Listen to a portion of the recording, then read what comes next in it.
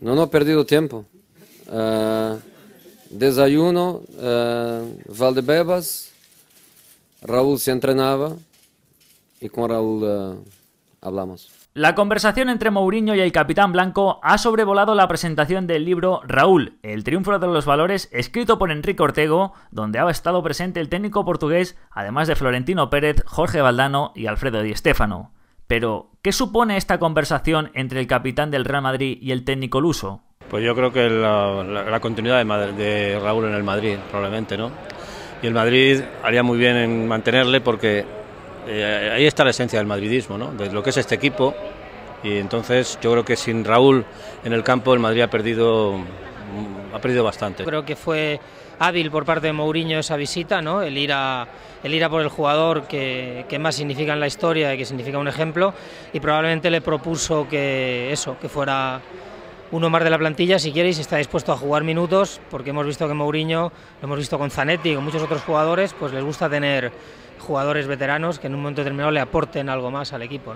Él siempre va a estar preparado porque Efectivamente, ahora está todo el mundo de vacaciones, ya lo está en, en Valdebebas, no tiene ningún problema en, ponerse a punto y recuperarse la lesión que tiene. Por lo tanto, con esos valores y esas cualidades él puede jugar y cumplir su contrato perfectamente. Sin embargo, el máximo mandatario del conjunto blanco, Florentino Pérez, en su locución dejaba un atisbo de duda sobre la continuidad del 7.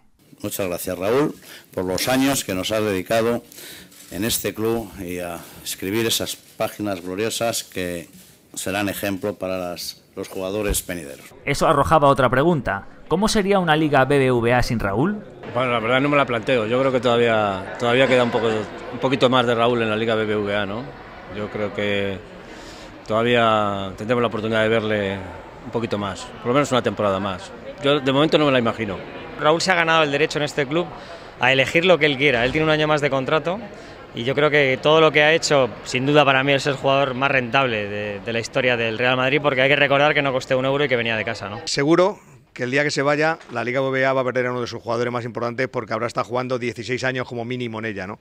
Y eso no está al alcance de cualquiera, son seis ligas eh, BBVA en las que ha ganado, otras que se le ha escapado como esta en el último, en el último partido, con lo que evidentemente el fútbol español, el día que se vaya a jugar a otro sitio, el día que decida retirarse, evidentemente perderá un hombre importante, como lo perdió la selección cuando, cuando dejó de ir.